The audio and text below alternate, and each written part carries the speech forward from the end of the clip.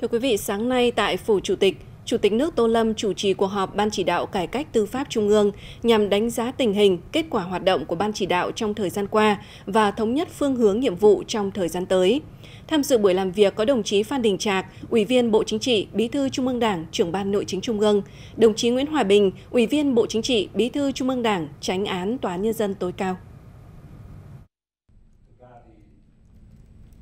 Với tinh thần nghiêm túc, trách nhiệm, các thành viên Ban chỉ đạo cải cách tư pháp Trung ương đã nghe báo cáo và thảo luận về tổ chức, chức năng, nhiệm vụ, quyền hạn và kết quả hoạt động của Ban chỉ đạo trong thời gian qua. Qua đó, các thành viên đã thống nhất cao về sự cần thiết duy trì tổ chức và hoạt động của Ban chỉ đạo để giúp Bộ Chính trị lãnh đạo chỉ đạo triển khai thực hiện có hiệu quả các nhiệm vụ cải cách tư pháp, nhất là các nhiệm vụ giải pháp về cải cách tư pháp nêu trong nghị quyết số 27 về tiếp tục xây dựng và hoàn thiện nhà nước pháp quyền xã hội chủ nghĩa Việt Nam trong giai đoạn mới.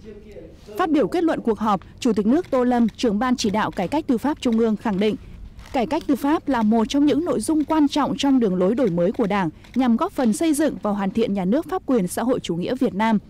Bảo đảm thực hiện nhất quán nguyên tắc quyền lực nhà nước là thống nhất, có sự phân công rành mạch, phối hợp chặt chẽ, kiểm soát hiệu quả giữa các cơ quan nhà nước trong việc thực hiện các quyền lập pháp, hành pháp và tư pháp, bảo vệ công lý, quyền con người, quyền công dân, lợi ích của nhà nước, tổ chức và cá nhân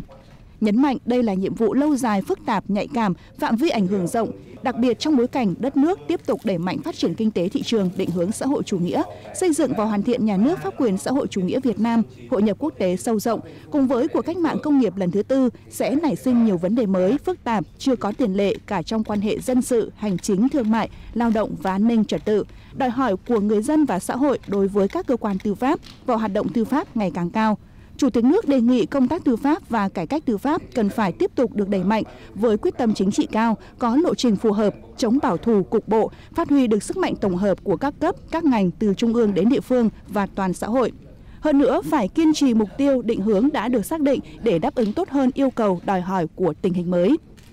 Chủ tịch nước đề nghị Ban Nội chính Trung ương phối hợp chặt chẽ với Văn phòng Trung ương và các cơ quan liên quan sớm trình Bộ Chính trị xem xét thông qua đề án tổ chức hoạt động của Ban chỉ đạo cải cách tư pháp Trung ương theo hướng tiếp tục duy trì tổ chức, hoạt động của Ban chỉ đạo.